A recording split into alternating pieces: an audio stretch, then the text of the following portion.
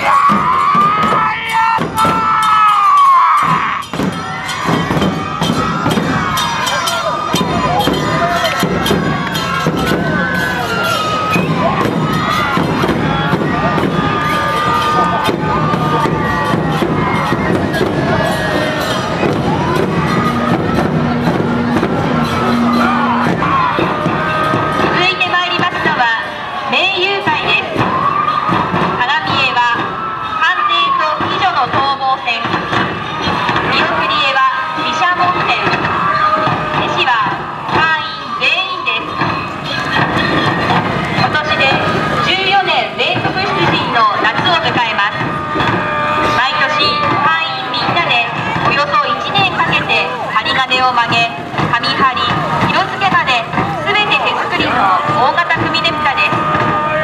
毎年恒例になっている干支を題材にしています。今年は馬年なので馬を取り入れた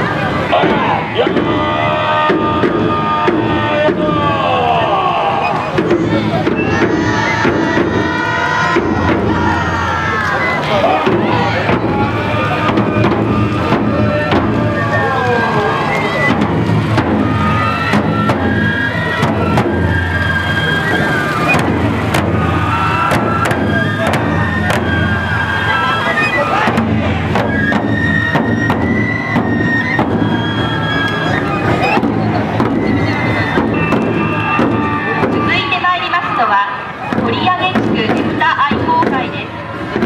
花見絵は一条生ご誕生見送り絵は一条生ご誕生絵師は田中玄宝さんです。5年連続となる今年は三大地区から取上地区と解消いたしました。まだまだ若い会ですが続けることで地区の親睦交流を